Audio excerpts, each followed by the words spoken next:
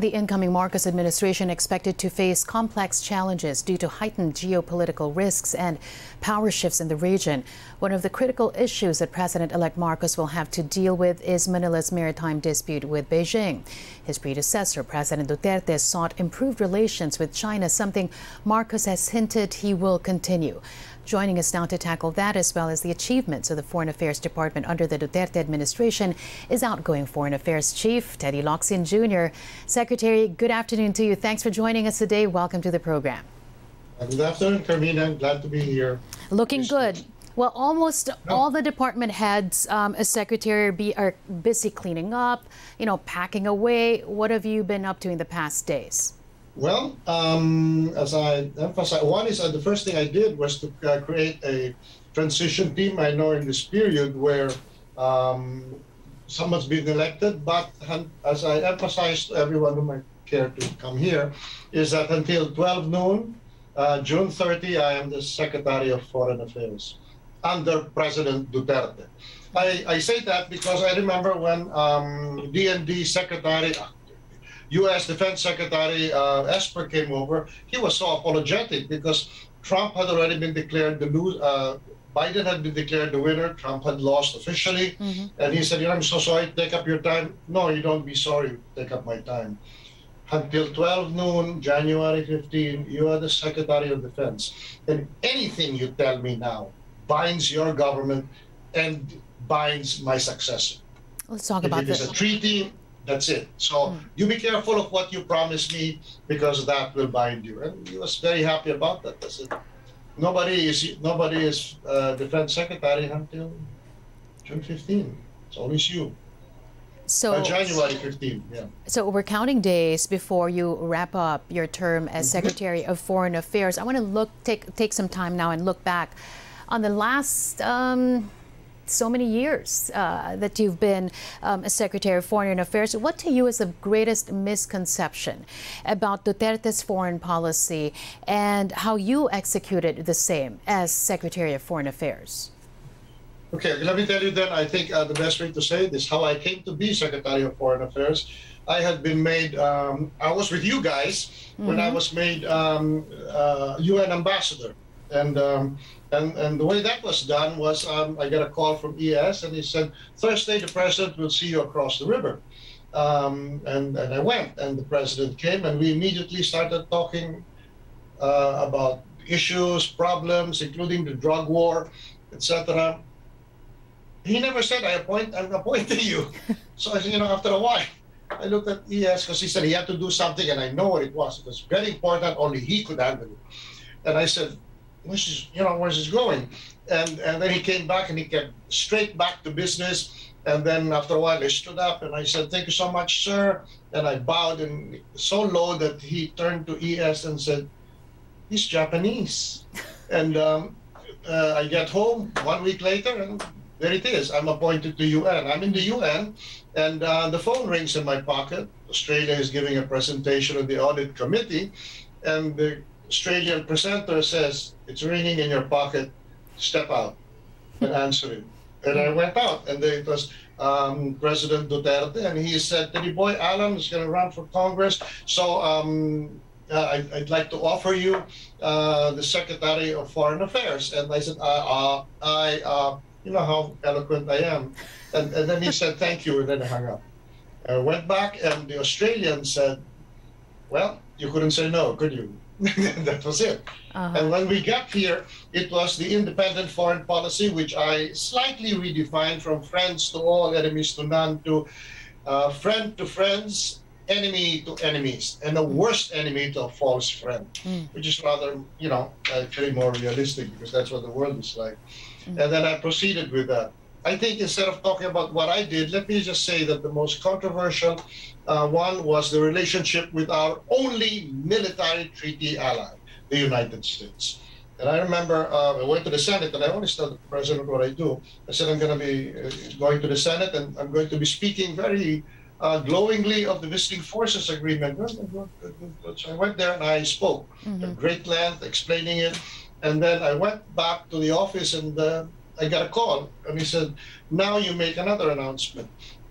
And that was you are abrogating the visiting forces So and that's exactly what I did. And then um, I, I can't tell you more except privately. But let me say that I did that and then uh, began the long, um, beneath my level, but very significant changes in the visiting forces agreement, um, making more definite their commitments to come to our aid in case we are attacked. Remember, we are not and can never be an ally of the United States because they are our only military ally. We will never be a military ally of any other rival power. So there it is. Um, Duterte himself, by the way, says that to visiting uh, uh, leaders, uh, including some that you won't believe. And he says, hey, look, should you guys get into a conflict with the United States, I am the president of my people. My people are pro American, and they will have the Philippines to use. Uh, in let's- a fight uh, with the United States. So there it is. Um, Let, us talk and you know about? Secretary. Let's let's talk about as well the Philippine-China relations. Um, how would you describe how it has been uh, since you took over as Secretary of Foreign Affairs? Um, okay, in that regard, uh, let me give you another anecdote. I hope it's useful to you. Um, I have been told that people are studying what I say. Sometimes very strong, um, etc. And then what Duterte says, says about China, that they're, you know, he likes to be friends with them. And so do I. My friendship with uh, the Foreign Minister, State Councilor Wang Yi is deeply personal.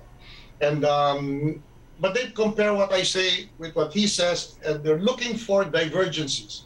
And then they're also trying to understand how come he talks like that, he talks like that, but he stays. And at the end, when he's when Duterte makes policy, because he's the only one who makes policy, they realize that there is no divergence between us. That in fact, I, I have his full support, and I have and and he has my you know my full faith and credence and loyalty. Um, uh, the, the the reason uh, and- they, they just came to that conclusion. They said, "Oh, but there was one time when he publicly disagreed with me, and this was when I used a four-letter word." And he did not berate me personally, but he did. He, wor- he did worse. He went. Uh, he went on the air and he reprimanded me, and he said, "You are not the president. Only the president can use four-letter words." And that was it. But uh, let me say what happened now, because I really think your program is so credible. At the end of it all, you know that the visiting forces agreement was restored, and so I went to Washington with Babe, my twin, and uh, there was a conservative head of foreign affairs and defense, and he was there, a senator, no less. And, and he, then I said, well, now that the visiting forces agreement is back in place, in fact, it's reinforced, um, I guess everything is back to normal.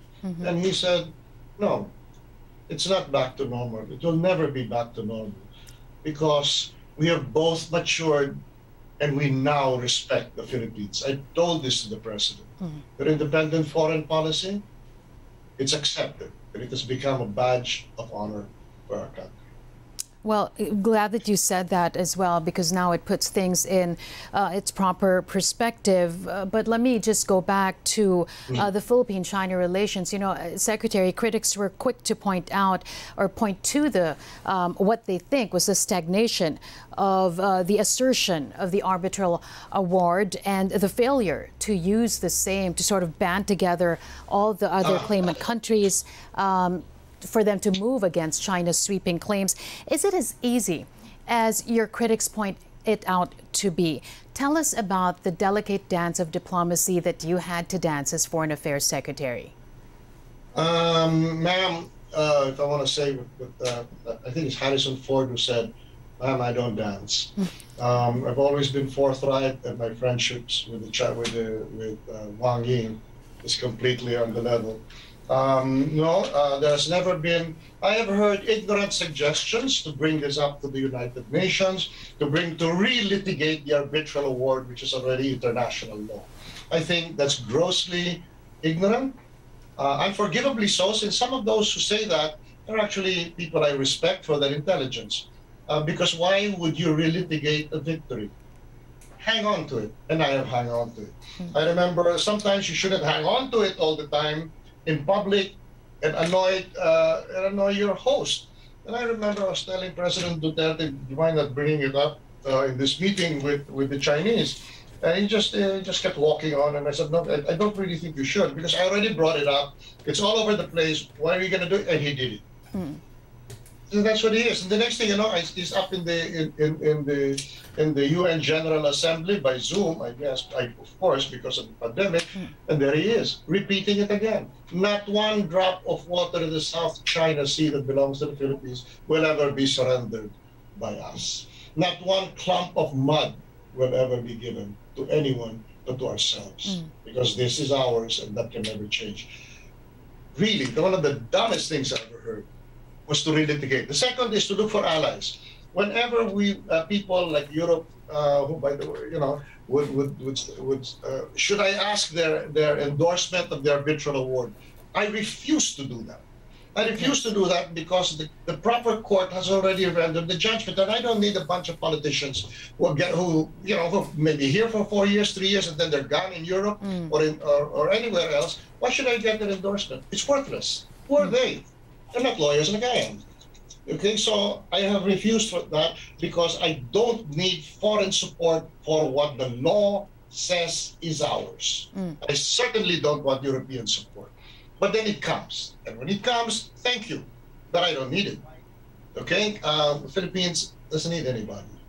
Now, what we need, though, is military defense in the case it goes beyond rhetoric, counterclaim into an actual takeover. Now, the only takeover by China of what belongs completely to the Philippines without any qualification and the reefs that were surrendered by the United States. Mm.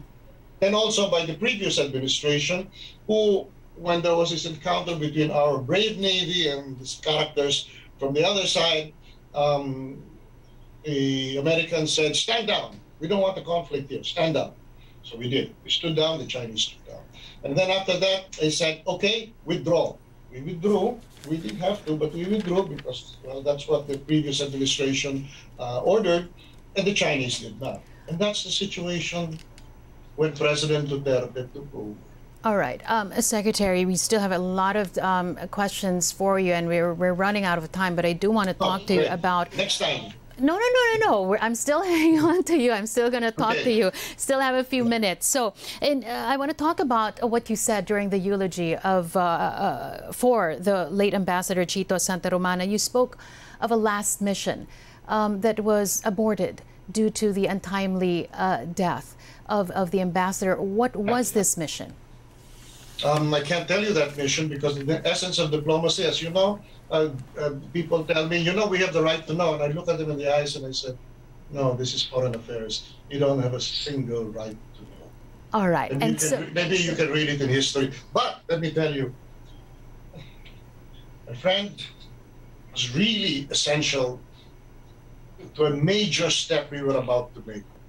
A really productive partnership with, you know, Chito was never going to yield a single inch of what was ours. But he knew that there is a way forward. I had told this to the to the uh, Chinese Philippine Liberation Army people who came to visit me. I said, look, what a wide avenue of cooperation between the Philippines and China. And there is a pebble in the middle of that wide avenue. And you know what? We will stumble on that. And that is where we fall on both our faces. And this is what Chito was working on. And so now that he's gone, Secretary, uh, what, how much or how big of an elbow room will the next Foreign Affairs Secretary have? Okay, the next has all the elbow room he wants because pre presidents make foreign policy, nobody else does. To some extent, maybe for uh, budgetary support, they need Senate uh, Senate concurrence and support, um, the, uh, the uh, Committee on Foreign Relations. But foreign policy is every term, every new president comes in up for grabs. Um, whatever is good in the past. The only things that endure are treaties. Tell me this, though. What should be the guiding principle when the next administration deals with China? I wouldn't venture to say that because that would be impolite. Uh, I'm never that. I may lose my temper once in a while, but I'm never impolite or improper. I'm going to leave it at that. I want to talk about repatriation efforts, reunification efforts. that happened during or under your watch. Tell us how much of a challenge that was for you and your team. We're talking about during the pandemic, the war in Ukraine.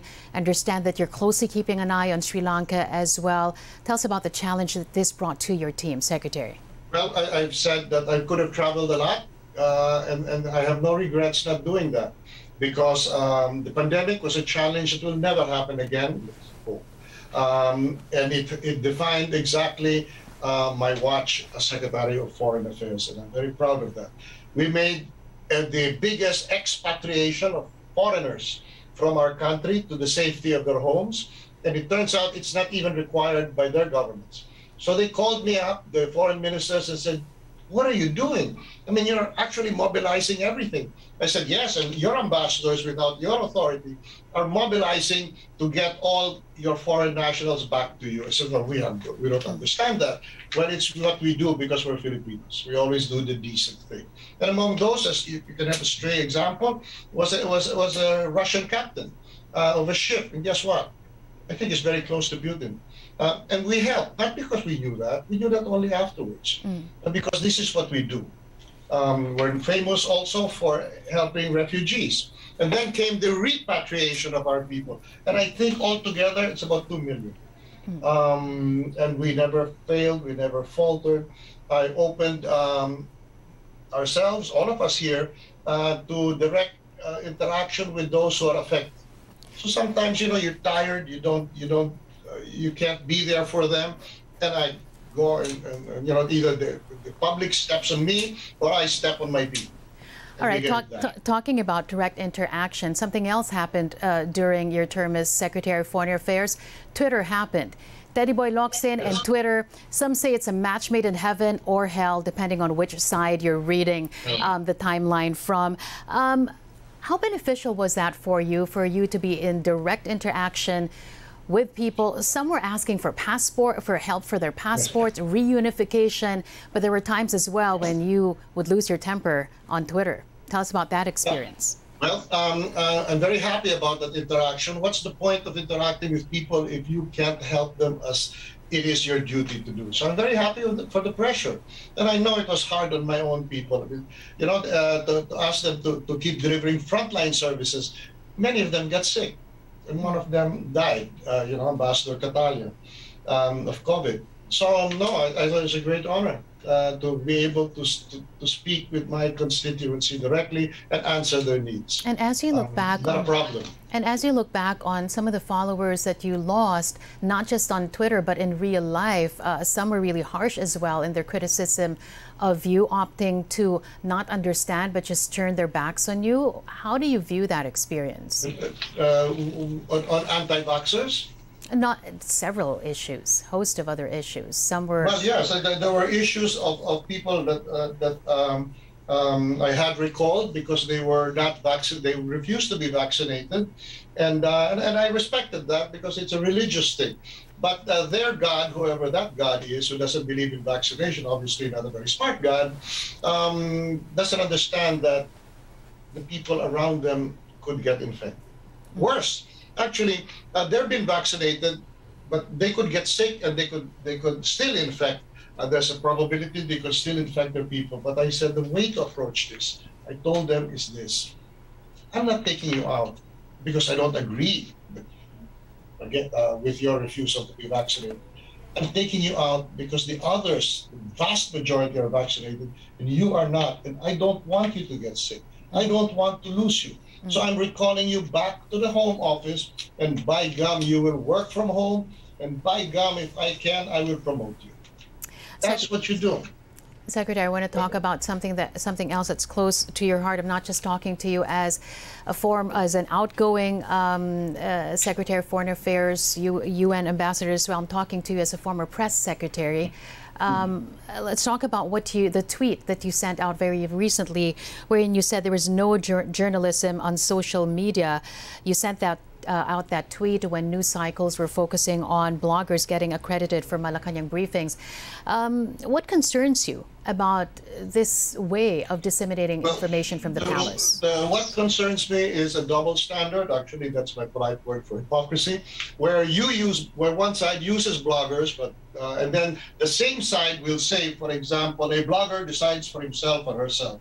A journalist does not. A journalist, apart from being put through the rigorous training and discipline and skills, apart from that, a journalist's works are put through a system of checks to ensure that the information disseminated is truthful, well contextualized, etc. You know what's the only thing that that is um, that's rigorous? Mm. Is when you can be taken to court, when you can be sued for libel, when you can, as I have been mm, two, three times, I had to pay about a million pesos for libel. Mm. But I've had to go on my knees. Uh, in the case of one famous lawyer who I made the mistake of repeating a report of the Inquirer in my newspaper, and I was sued by him uh, because uh, this newspaper said that he was hiding his client, Rolito, I forgot his name, mm. Rolito Go. Mm. Um, and, and, and, and then I went to Sagisag and I said, this is freedom of the press. I mean, he's threatening to sue me. And Sagisag said, you're right, we're going to fight this. And I said, by the way, who's the lawyer? And I gave the name of the lawyer and he said, oh, Jesus. That lawyer and his two sons are geniuses. They come from Harvard. And guess what? They sue people not for the, not for the money. They sue people for the joy of victory. So what do you think I should do? Try falling on your knees and begging forgiveness. And that's exactly what I did. I sought him out in a coffee shop with all the newsmen there, and I said, please, please forgive me for that mistake. I did not know that mm. the report in the, in, in the newspaper was fake. Um, and, and I said, then he said, okay, Iho, tama na. Stop it already. Stop apologizing. It's finished. It's over. No, no, I'm going to apologize. And don't do that. And I did. I put out an apology and I said, I will. I am so sorry to Attorney This um, for all the lies that this newspaper put out and which I repeated. I shall never read that newspaper again. so what? That's do, what. I, so what? What do you think about um, citizens? Citizens getting Social, information from bloggers. Yeah. Well, you don't get confirmation from bloggers. I've used Twitter. One is to rally uh, uh, my people to work on a specific case and, and, a slew of other cases. I also bring up issues that I feel are not very clear. But remember, that's not news. The news is that event, that issue. And then that's my reaction to it, usually hmm. smarter than usual, um, and you would expect from other people in public office. So you wouldn't. So that, that's basically what I do. But, but, but I so don't rely it on the news. Mm. You know why? When I was told, oh, you guys, you know, my government, my president, I really love suppressing press freedom. Really? Like, how does it hurt? Mm. Because we lost the biggest newspaper in the country. We lost a newspaper with the best printing press in Asia outside Japan. That's what it means to lose press freedom. What do you lose? You, you lose your, what, what do they call it? Your ID? And then you just jump to another site and you're, and you're still spreading your lies? No, because you have to feel pain, and there is no pain like printing press. So what do you like think? A TV station. And you know what? When I said that to the American who was trying to put me on my, he hmm. looked up and he said, "Oh Jesus, my family has owned a Midwest newspaper for over hundred years. You're right. Only people like us who own newspapers can suffer the suppression of press freedom." Converted. Oh, finally. Because if it's just your irritation, your well, I don't know what it is that people who don't actually pay out money when they lose a libel case. I don't know what they, what kind of hurt they can possibly feel to their self-esteem. Oh, come on. But what about the public? They're going to get no, their no, no, information exactly. from from from bloggers. Um, is there something that concerns you regarding that? Well, yeah, it's a pity because there's so much, uh, there's a lot of misinformation that can be easily corrected if we all return to print and broadcast news. I don't know now because I'm watching you, and this looks like better reception than at the time when you and I were working in a huge studio.